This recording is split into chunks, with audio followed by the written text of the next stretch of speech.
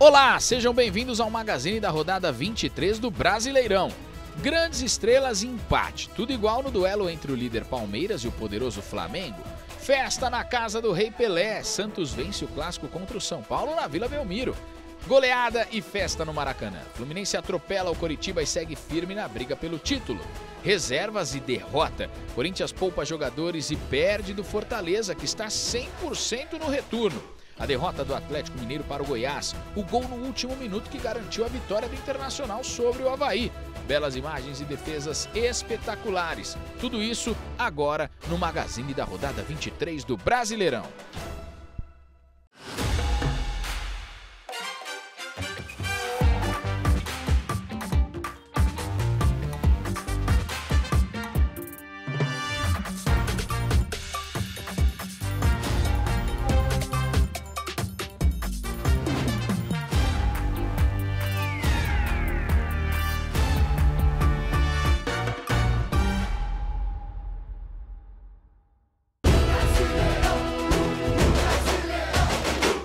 Atlético Mineiro e Goiás se enfrentaram no Mineirão na abertura da 23ª rodada. O Galo tentava reverter o mau momento e conquistar os três pontos após alguns deslizes jogando em frente da sua torcida. O Esmeraldino, por outro lado, tinha uma difícil tarefa em suas mãos, principalmente pela campanha como visitante até o momento. O técnico Cuca armou o time com seus melhores jogadores. Pavon, Keno e Hulk formaram um trio de ataque. Jair Ventura colocou seus 11 habituais em campo, com Vinícius, Dada Belmonte e Pedro Raul na frente. O Atlético começou a partida no ataque. Aos 22 minutos, Zaratio quase marcou um gol inacreditável. Ele recebeu um lançamento por cima de Mariano e emendou um belíssimo voleio, mas a bola bateu na trave. Keno também teve a chance de abrir o placar no primeiro tempo. Ele cortou para o meio na entrada da área e chutou muito próximo da meta adversária. Pavon passou por Hugo e cruzou para Nacho, mas Tadeu apareceu bem para a defesa. Mas quem não faz, toma. Depois do intervalo, Mariano errou um recuo de bola e Vinícius recuperou a bola. Everson saiu mal e deixou o gol aberto. O ponta só tocou para a área e Pedro Raul chegou colocando para dentro. 1 a 0 para o Goiás. O Atlético sentiu o golpe, mas ainda buscou o empate. Zaratio nesse lance ganhou da marcação após o cruzamento, mas errou o alvo. Dois minutos depois, Arana cruzou e Kardec apareceu para o desvio, mas a bola bateu na trave. O Goiás conseguiu segurar o ímpeto dos donos da casa e saiu do Mineirão com a vitória, conseguindo um respiro na tabela. Outro péssimo resultado em casa agora com mais pressão no técnico Cuca, enquanto o Galo começa a se separar dos primeiros colocados. O Maracanã foi palco para uma chuva de gols no duelo entre Fluminense e Coritiba no sábado à noite. O tricolor estava esperançoso em sair de lá com uma vitória para chegar ao segundo lugar da tabela, enquanto o Coxa tinha que fazer o melhor para não terminar o turno na zona de rebaixamento. Fernando Diniz poupou Paulo Henrique Ganso e Natan foi escolhido para ser o garçom de Cano e John Arias. O Coritiba demitiu o técnico Gustavo Mourinho e foi rápido ao contratar Guto Ferreira, que fez sua estreia à frente do time.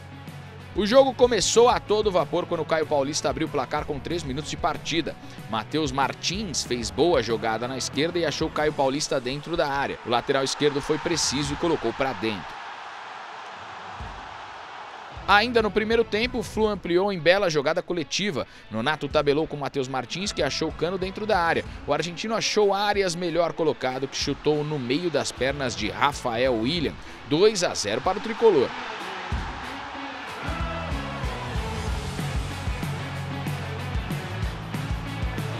O jogo ficou assim por um bom tempo, mas muito mais estava por vir nos últimos 20 minutos. Caio Paulista se enrolou e armou um contra-ataque para o Coritiba. Aleph Manga invadiu a área e bateu bonito, sem chances para Fábio. Mas Natan estava inspirado. Em falta próxima à área, ele cobrou com perfeição direto no ângulo. Que golaço do meia tricolor!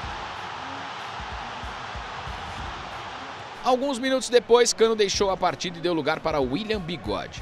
E se um lado tinha Natan, no outro tinha Egídio, ele cobrou uma falta parecida com a do jogador do Flu e também colocou para dentro.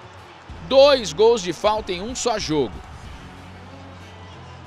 Mas a partida estava longe de terminar. William tocou para Michel Araújo, que recebeu dentro da área para colocar para dentro e fazer 4 a 2.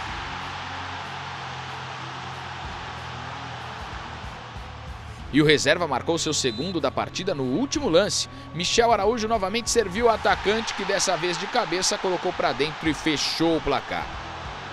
5 a 2 resultado final para a festa da torcida presente no Maracanã. O tricolor termina a rodada na vice-liderança do Brasileirão e chega com moral para o duelo da Copa do Brasil contra o Corinthians. No outro lado, Guto Ferreira vai precisar de tempo para acertar o Coritiba e tentar tirar o time da zona de rebaixamento. Na manhã de domingo, o Juventude recebeu o Botafogo no Alfredo Jaconi buscando fugir da última colocação do Brasileirão, enquanto os cariocas queriam se afastar da zona de rebaixamento. Humberto Loser precisou mexer no meio de campo do seu time e promoveu as entradas de Bruno Nazário e Anderson Leite. O português Luiz Castro também modificou o Botafogo. Saravia, Adrielson, Lucas Fernandes e Júnior Santos foram titulares. No banco, o novo reforço do time, Gabriel Pires. E os donos da casa saíram na frente logo aos 8 minutos. Bruno Nazário lançou pita e o paraguaio não desperdiçou. Terceiro gol do atacante pelo Juventude no Brasileirão. O Fogão foi atrás do empate, mas parou na trave do goleiro Pegorari em chute de Eduardo. Mas na volta para a segunda etapa, o Botafogo marcou. Jefinho fez boa jogada e encontrou o Júnior Santos para empurrar para a rede. Mas o Juventude não deixou barato e ficou em vantagem novamente com Pita. Boa tabela do paraguaio com Felipe Pires e o centroavante não perdoou. Bonito gol em Caxias do Sul mas o jogo insistiu em ficar empatado. Jefinho fez outra boa jogada e encontrou o estreante Gabriel Pires, que precisou de cinco minutos em campo para marcar o seu primeiro gol com a camisa alvinegra. Fim de papo no Rio Grande do Sul e as duas equipes chegam a quatro jogos sem vitória no Brasileirão. O Juventude segue em último com apenas 17 pontos e encara o Internacional na próxima rodada. Já o Botafogo tem 27 pontos e encara o Flamengo. Palmeiras e Flamengo se enfrentaram no Allianz Parque no jogo que muitos consideravam a final do Campeonato Brasileiro, já que se vencesse o jogo, o Palmeiras abriria 12 pontos para o segundo colocado. E para uma decisão, o técnico Abel Ferreira colocou aquilo que tinha de melhor em campo. Veiga, Dudu, Scarpa e Rony formaram o ataque. Já pelo lado rubro-negro, Dorival Júnior não pensou do mesmo jeito e deixou no banco seus principais jogadores. Cebolinha, Marinho e Lázaro fizeram o setor ofensivo e Pedro, Gabigol e Arrascaeta ficaram no banco visando a Copa do Brasil no meio de semana. A primeira chance foi do Palmeiras, que começou melhor no jogo. Gustavo Scarpa fez boa jogada individual, mas mandou para fora. Mas a resposta foi certeira. Ayrton Lucas passou por Marcos Rocha na ponta esquerda e cruzou na cabeça de Vitor Hugo. O jovem jogador subiu muito e cabeceou sem chances para Everton, terceiro gol do meia como profissional.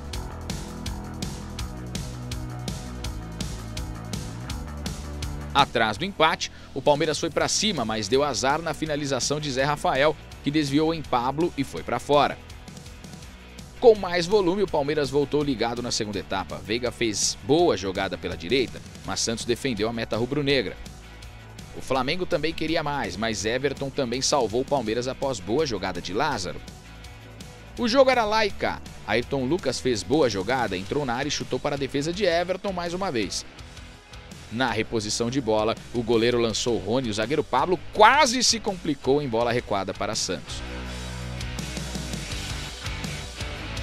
Mas o Verdão conseguiu empate para a felicidade de mais de 40 mil pessoas no Allianz Parque. Dudu tocou para Rafael Veiga, que acertou um lindo chute no canto direito de Santos. 21º gol do meia na temporada.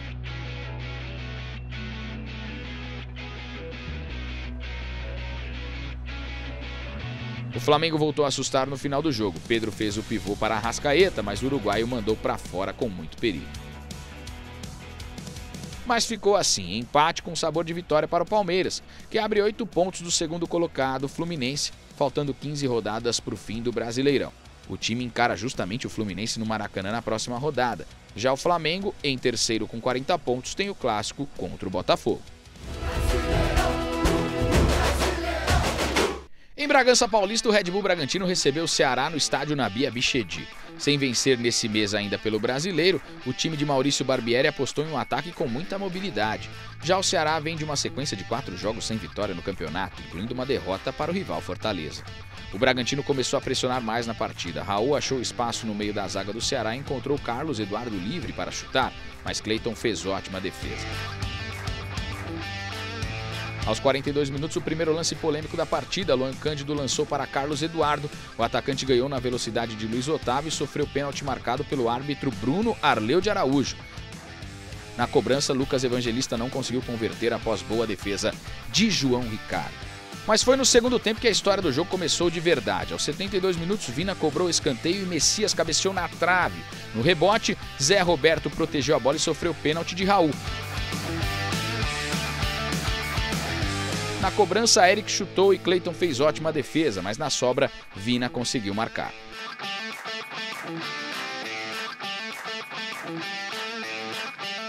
Foi aí que o árbitro de vídeo entrou em ação. A arbitragem assinalou invasão do camisa 29, fazendo com que o pênalti fosse cobrado novamente.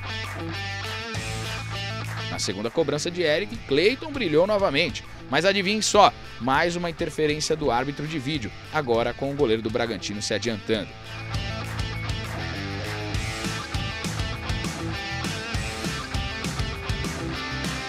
Na terceira cobrança para o Ceará, agora quem cobrou foi Zé Roberto dessa vez sem irregularidades, sem interferência e aberto o placar em Bragança Paulista. Mas nenhum grande jogo acontece sem um grande final. Depois de nove minutos de acréscimos, Messias disputou de cabeça com o Natan e o juiz marcou mais um pênalti, o quinto na partida.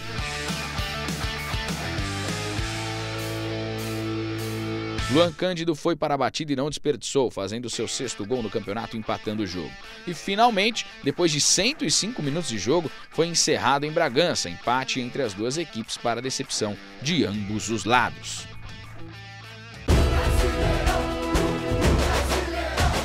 Na Arena Castelão lotada, o Fortaleza recebeu o Corinthians para seguir se afastando da zona de rebaixamento e começando a pensar já na parte de cima da tabela. O Corinthians buscava a vitória para seguir na cola do líder Palmeiras. O técnico Voivoda não contou com Thiago Galhardo e Lucas Crispim no meio-campo. Por isso, Hércules foi titular. No ataque, Robson foi titular e Silvio Romero começou no banco. Já Vitor Pereira colocou quase todos os titulares para descansar. Focado na Copa do Brasil, apenas Cássio, Fausto e Roger Guedes foram titulares. Matheus Vital voltou a ter uma chance na equipe após um ano. Em cobrança de falta, o camisa 10 bateu com perigo por cima do gol e assustou Fernando Miguel. Resposta do Fortaleza foi com Robson, que recebeu na entrada da área, mas chutou fraco sem perigo para Cássio. O primeiro susto do segundo tempo foi do Fortaleza em cobrança de escanteio. Juninho Capixaba bateu fechado e quase fez gol olímpico. Mais uma chegada do Leão, agora com Robson, que chutou forte, mas Cássio mandou para escanteio. Mas pressionando bastante, o Fortaleza marcou. Moisés fez boa jogada e bateu sem chances para Cássio. 14 gol do atacante na temporada, artilheiro do time.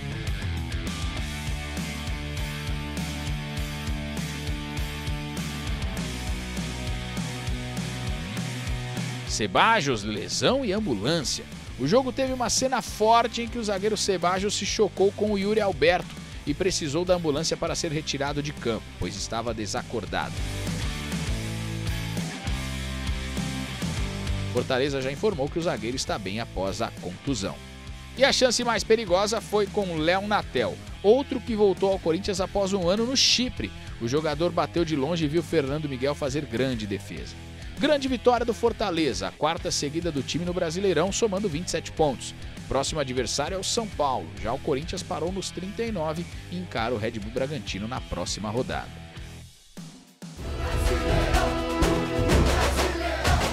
Duelo dos desesperados em Goiânia. O Atlético Goianiense recebeu o Cuiabá e ambas as equipes queriam sair da zona do rebaixamento. Só a vitória interessava. O time da casa veio com algumas mudanças. O meia Jorginho desfalcou o time e o Wellington Rato jogou de 10. Já os visitantes contaram com o Daverson fazendo seu primeiro jogo de titular com o Cuiabá. O Dragão saiu na frente. Cruzamento de Ayrton e Turim. Cabeceia no canto esquerdo de Walter. Quarto gol do argentino no campeonato que tirava o time momentaneamente da zona do rebaixamento. O jogo mudou quando Gasal perdeu a bola para Valdívia e fez falta para parar o ataque. O juiz deu amarelo, porém o VAR chamou e após olhar as imagens o jogador acabou sendo expulso. A chance de ouro para empatar veio perto do final da primeira etapa. O chute de Rafael Gava desviou em William Maranhão e a bola passou raspando a trave. Grande chance dos dourados.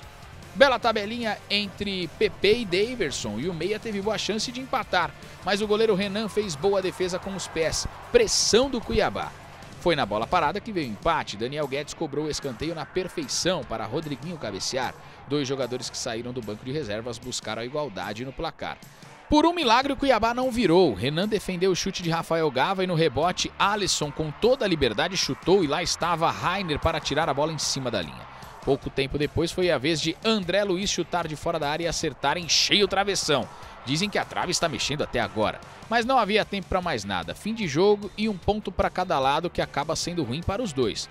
O Atlético Goianiense fica na zona de rebaixamento com 22 pontos. Já o Cuiabá está a dois jogos sem perder e está com 24 pontos.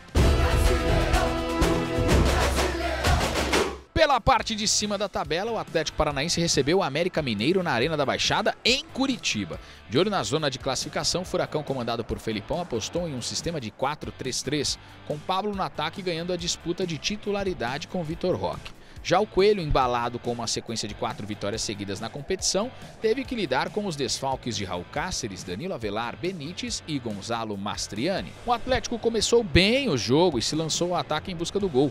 Aos 13 minutos, Teranza arriscou de fora da grande área, buscando trazer perigo à meta de Matheus Cavicchioli, que saiu bem e espalmou para fora. Após boa finalização de Fernandinho, o goleiro do Coelho foi exigido novamente. Na sobra, Cavicchioli fez um milagre no chute de Pablo dentro da pequena área.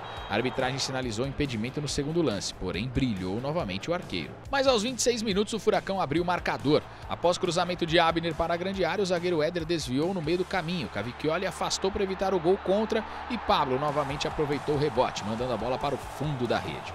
Atrás no placar, o Coelho teve que se lançar ao campo de ataque em busca do gol de empate. Na volta para o segundo tempo, a boa oportunidade veio após cruzamento de Marlon, onde a bola fez boa curva em direção ao gol e exigiu a defesa de Bento, que conseguiu afastar o perigo.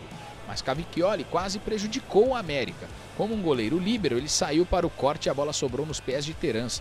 O camisa 20 arriscou o chute de longe, sem goleiro, porém pegou mal e a bola saiu pela linha de fundo para o alívio da torcida do Coelho. Depois do susto, a alegria veio logo em seguida. Pedrinho, pela ponta esquerda, ajeitou de calcanhar na ultrapassagem de Juninho, que cruzou para a área.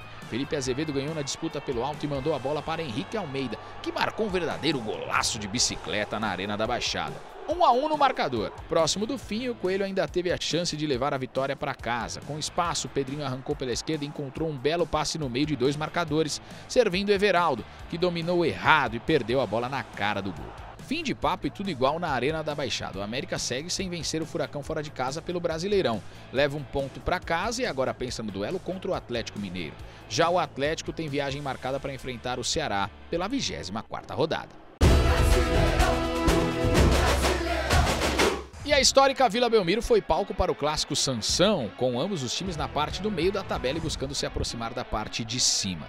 Buscando a primeira vitória com o Peixe na Vila Belmiro, Lisca escalou o Santos fortemente reforçado com Soteudo em sua segunda passagem pelo Clube Santista. Já Rogério Senna decidiu poupar alguns jogadores no confronto, como Caleri, começando no banco visando a Copa do Brasil. Quem chegou com mais perigo primeiro foi o São Paulo. Maicon, defensor santista e São Paulo, não encontrou a bola. Igor Gomes conseguiu dominar, partir, porém decidiu mal a jogada, finalizando de maneira ruim para fora. Lamento no lance, Nicão aparecia livre na esquerda. Resposta imediata do Santos. Marcos Leonardo encontrou bom lançamento para Soteudo. O venezuelano levantou a cabeça e mandou o cruzamento na medida para Lucas Braga testar firme e abrir o placar na Vila Belmiro. Festa da torcida do Santos é o segundo gol do atacante no Brasileirão e a primeira assistência de Soteudo em seu retorno. Na segunda etapa, o tricolor paulista procurou pressionar mais o Santos em busca do empate. Luciano de fora arriscou para a grande defesa de João Paulo. Dessa vez, Pablo Maia arriscou de longe e a bola desviou no meio do caminho. Mesmo assim, João Paulo, a muralha santista, evitou o empate. Em rápida jogada, Marcos Leonardo sai cara a cara com Jandrei. O goleiro defende no rebote. Ângelo rola para Lucas Braga com o gol aberto, mas ele manda para fora. Incrível a chance perdida. João Paulo ainda salvou o Santos mais uma vez. Igor Gomes mandou para a área e Miranda cabeceou no cantinho, mas o goleiro estava lá para defender. Grande partida de João Paulo no clássico. Fim de jogo na Vila Belmiro, vitória do Santos assegurando a pressão do São Paulo na segunda etapa. Com o resultado, o Peixe chegou a 33 pontos, se aproximando do G6 da competição. Já o tricolor paulista estaciona nos 29 pontos e se mantém fora, porém um pouco perto da zona do rebaixamento.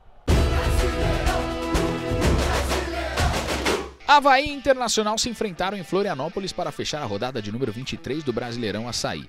Enquanto o time catarinense buscava a vitória para sair da zona do rebaixamento, o Colorado queria os três pontos para ficar mais perto do G4. No primeiro turno, as equipes se empataram por 0 a 0 no Beira-Rio.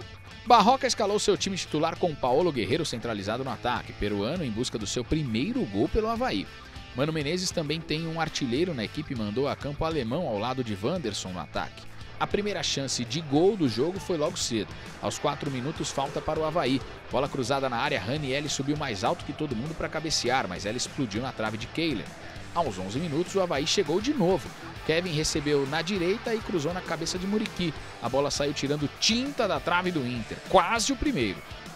Mais uma do Havaí, mais uma pela direita. Kevin cruzou rasteiro, Kehler se esticou e afastou o perigo. Guerreiro já chegava para dar um carrinho e mandar para o fundo da rede. Na etapa final, o Internacional conseguiu chegar ao ataque. René acionou Depena, que cruzou para Alemão. O centroavante, dentro da pequena área, pegou mal na bola e errou o alvo. Um minuto depois, quase o Inter fez o seu gol. Alemão tocou para Alan Patrick, que soltou a bomba. Vladimir brilhou e fez grande defesa. No último lance do jogo, Rafael Vaz, zagueiro do Havaí, colocou a mão na bola e o pênalti foi marcado. Pedro Henrique foi para a bola e bateu forte no ângulo de Vladimir. Inter garantiu a vitória no último minuto. Fim de jogo e fim da rodada de número 23 do Campeonato Brasileiro. Jogo com poucas chances de gol e as equipes estavam pouco inspiradas. Mas o gol salvador do Inter fez com que os colorados subissem para a quinta colocação. Já para o Leão da Ilha, o resultado foi péssimo e continua na zona da degola.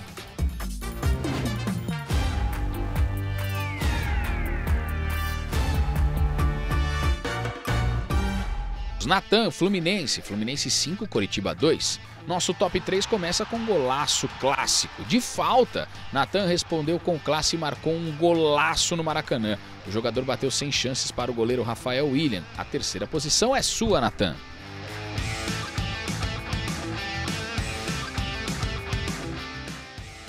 Na segunda posição do nosso top 3 está Moisés do Fortaleza. Na vitória sobre o Corinthians, o camisa 21 fez esse lindo gol. Recebeu o passe de Robson, driblou o zagueiro corintiano, que ficou sentado, e na saída do Cássio, Moisés chutou no ângulo. Indefensável. O segundo gol mais bonito da rodada de número 23.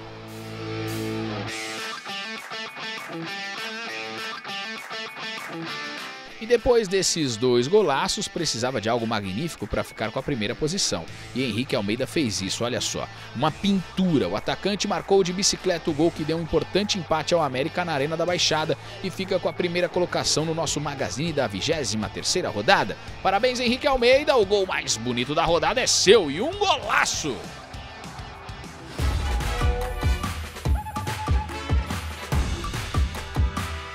Não que tenha sido muito exigido na vitória do Fortaleza sobre o Corinthians no Castelão, mas quando precisou, Fernando Miguel trabalhou bem demais para evitar o gol de empate dos paulistas. O goleiro se esticou todo e tocou com as pontas dos dedos para defender um bom chute de Léo Natel, garantindo a vitória do Leão. Por isso, a defesa da rodada 23 é sua, Fernando Miguel.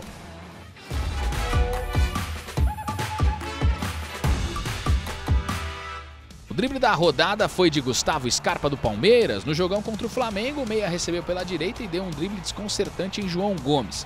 Ele ainda driblou mais um flamenguista, mas chutou para fora. Veja de novo. No puro gingado brasileiro, Scarpa é o dono do drible mais bonito da rodada de número 23.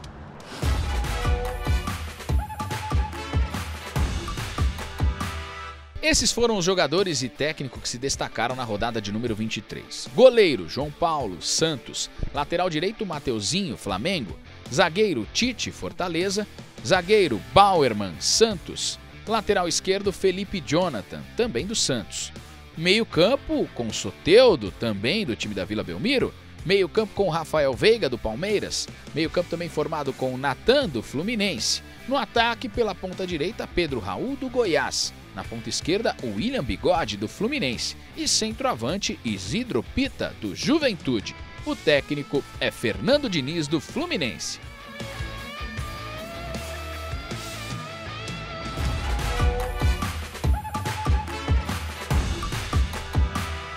Melhor jogador da rodada 23 foi o goleiro João Paulo dos Santos. O camisa 34 salvou o time em várias oportunidades, fazendo defesas impressionantes.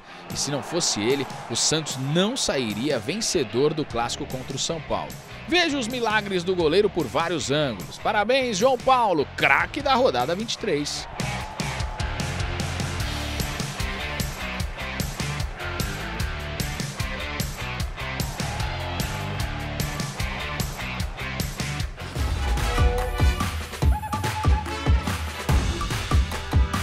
Confira a tabela após a 23ª rodada do Campeonato Brasileiro. A classificação é essa.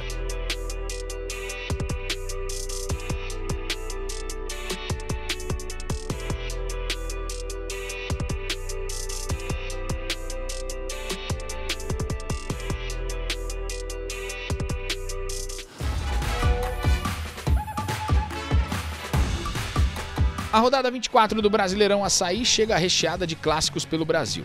No sábado se enfrentam Goiás e Atlético Goianiense no Ailé Pinheiro. No mesmo horário, o Coritiba recebe o Havaí. Um pouco mais tarde, o Fluminense enfrenta o Palmeiras e Ceará e Atlético Paranaense encerram o dia. No domingo temos mais quatro jogos: o Clássico Mineiro entre América e Atlético, São Paulo e Fortaleza, e o Clássico Carioca entre Botafogo e Flamengo e Cuiabá e Santos. A rodada 24 acaba na segunda com o duelo gaúcho entre Internacional e Juventude e Corinthians e Red Bull Bragantino. E por hoje é só no nosso magazine da rodada de número 23. Nos vemos na próxima rodada.